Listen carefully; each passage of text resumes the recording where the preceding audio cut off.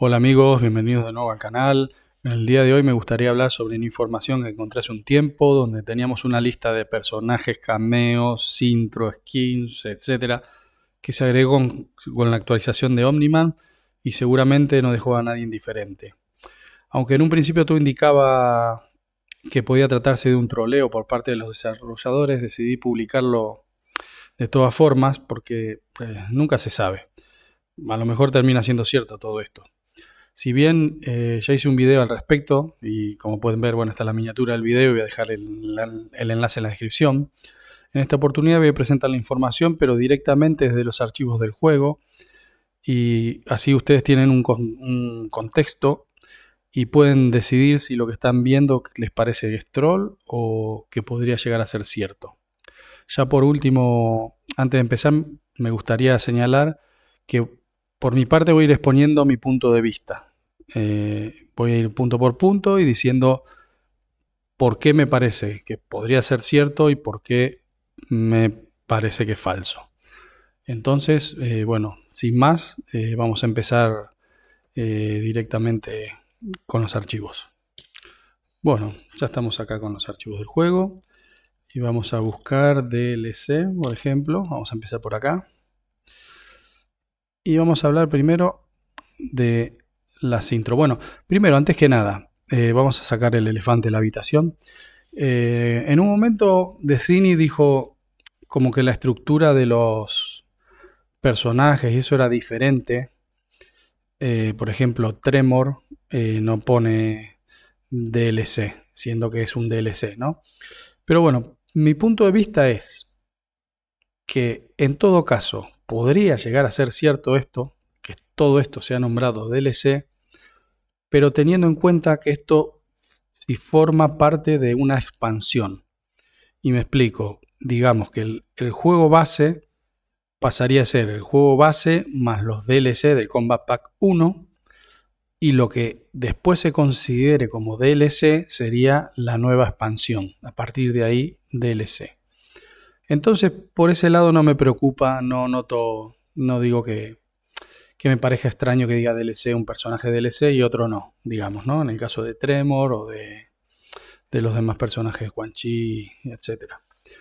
Eh, bueno, vamos a, acá punto por punto. Bueno, tenemos las intros, eh, nada del otro mundo.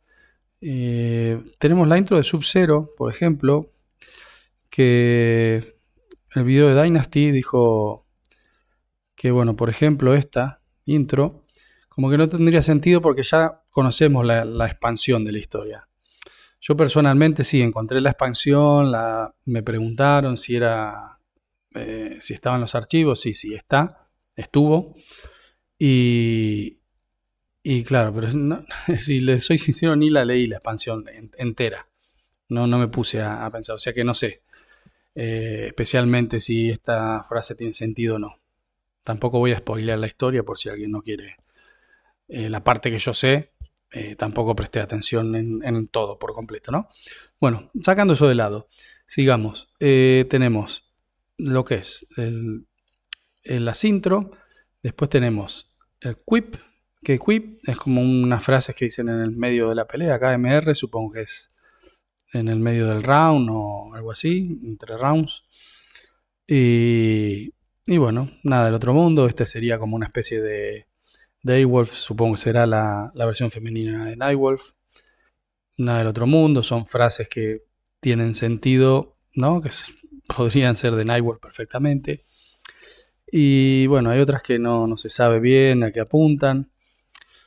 Pero bueno, el, tema es que esto, lo curioso, es que de ser falso se tomaron la molestia, ahora lo voy a ver, lo voy a pasar a otro idioma, por ejemplo, de ponerlo en todos los idiomas posibles que tiene el juego. Mi Cris podrá fin a tu mascota. Esto en español de España, ¿no? Y tenemos, por ejemplo, a ver, este, por ejemplo, Daywolf, dice, antepasados, dadme fuerza. Que como sabemos el dadme en Latinoamérica no, prácticamente no se usa, es una expresión más de España. Pero si vamos al español,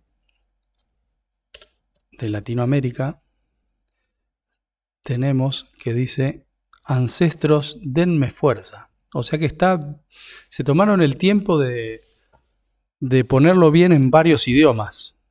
Después no sé si es la traducción de Google, no, porque lo traducen las dos españoles diferentes y tiene sentido en los dos, que está bien hecho en los dos. Entonces por ese lado presenta dudas esto. Vamos a volver a, al idioma inglés otra vez. Eh, o sea que esto es un punto a favor de, que está, si es falso, está bien hecho. Pero ahí no termina la cosa, hay otras cosas que están mal hechas. No, o sea que por ese lado no. Seguimos con las, las intros. Y acá, por ejemplo, Yao General, ¿no? General Yao. ¿Y qué dice acá? BS Yao General y el, número de la conversación. Bueno, eso está bien.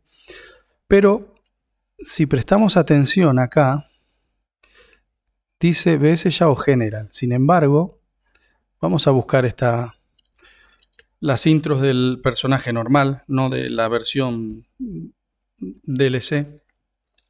Ponemos eso a buscar. Vamos a encontrar las otras conversaciones. Y sin embargo dice BS Shao Kahn, que en muchos archivos está como Shao Kahn. O sea que por ese lado presenta dudas.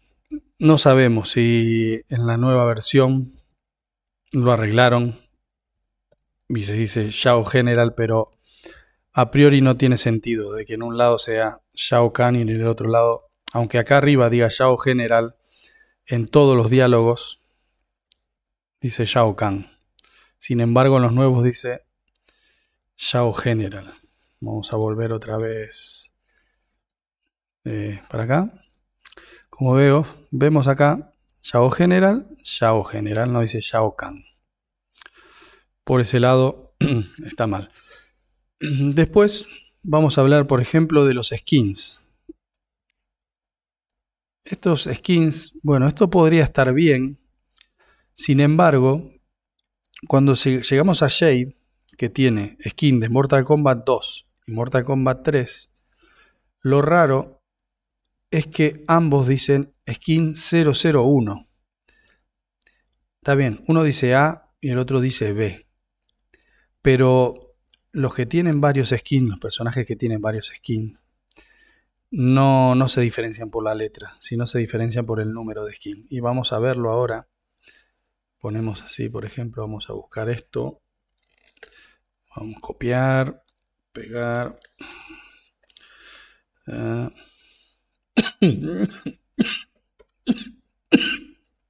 Ay, perdón. Bueno, eh, vamos a buscar, por ejemplo, Jax, ¿no? Jax tiene skin 001A, Mortal Kombat 2 y en algún lado, que lo encuentre, eh, skin, acá, Mortal Kombat 3, skin 002A, Mortal Kombat 3. Sin embargo, Jay decía skin 1A, Mortal Kombat 2, skin 1B, Mortal Kombat 3. Es otra cosa que no, que no cuadra, no tiene sentido. Vamos a verlo acá, otra vez. Skin 1A, 1B, Mortal Kombat 2, 3. Y bueno, me olvidé mostrar, pero eh, Kun Lao también. Es el mismo caso que Jax, tiene skin de Mortal Kombat 2, como skin 1, por ejemplo, y skin 2, Mortal Kombat 3. O sea, es otra cosa que no, no encaja. Después vamos a hablar de la segunda parte. Esto vino en, la misma actualización de, Omniman. En la primera de Omniman eh, tuvimos todo, todo, lo anterior que mostré y esto también, que viene como eh, NPCs, Velo, Dragin, Mavado, Mid o Naga, y que tienen gameplay, personajes que tienen gameplay Suhao y Onaga. Una cosa curiosísima. Entonces vamos a verlo esto ahora en los archivos del juego también. La forma fácil de encontrarlo, que esto, esto también es raro, ¿no? Ponemos Omniman. Eh, Omniman Ending, por ejemplo.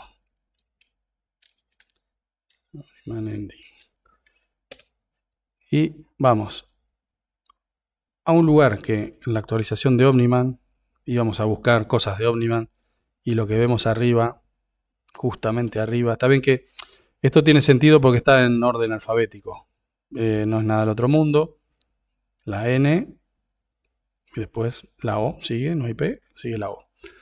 Entonces vemos NPC Player Select, Boss Suhau Story, Suhau, Suhau Tower, ¿no? Boss Onaga Story, Onaga Tower. Vendrían a ser personajes que formarían parte de la historia, una segunda expansión será. Esta será la sorpresa que dijo Ed Boom. No lo sabemos. Esto es una bomba de ser cierto, pero no suena que sea cierto todo esto. Porque lo mismo que, dijo acá el amigo Dynasty, Veloc. Veloc pertenece a, Eurocom. Eh, sería rarísimo verlo.